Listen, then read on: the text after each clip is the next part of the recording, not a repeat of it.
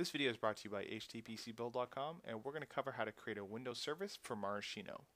Let's start by going to htpcbuild.com, go to Software, SAP under Add-ons, locate Maraschino, and then click on Service Install Guide for Windows.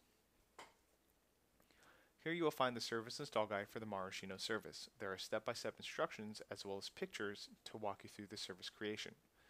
Please note you do require the Windows Resource Kit to create the Maraschino service. Also note the two registry parameter changes that must be added to enable the Maraschino service. Let's start by launching an elevated command prompt. Make sure to right click and run as administrator. Here you will execute two commands.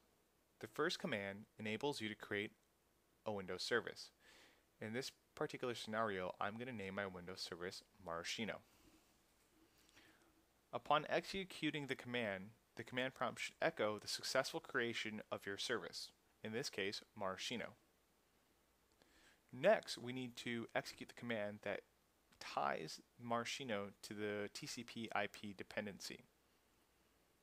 Once the command is executed, the command prompt should echo the successful addition of the TCP IP dependency. Next, we're going to need to add a few parameters to our Windows registry. Windows 7 no longer allows the merging of registry files. So let's begin by launching regedit.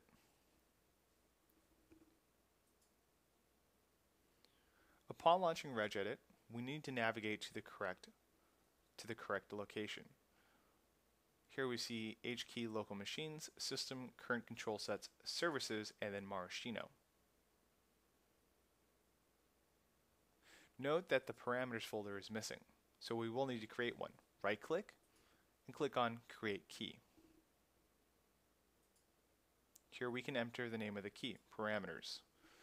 Next we need to create two strings, app directory and application.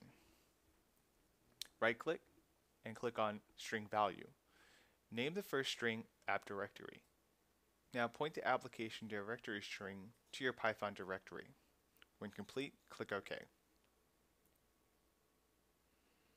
Next, create a new string value and name this application. Now point this value to your C Python directory and then your Python executable file. Following your executable file, you want to point the string toward your maraschino-cherrypy.py file.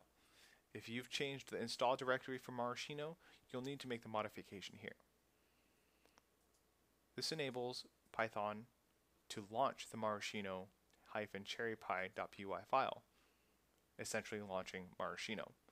Once complete, click OK, and now you've done changing your registry settings.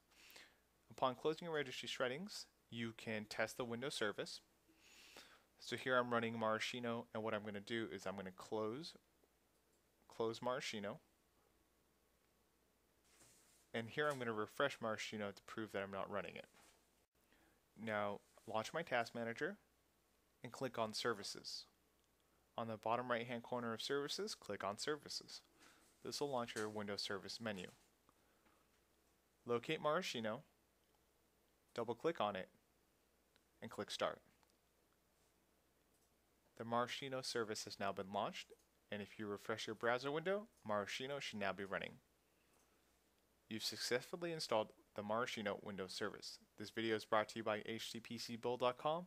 Please visit our website. We've got tons of guides on HTPC hardware as well as software. We are really trying to make HTPC builds easy for everyone.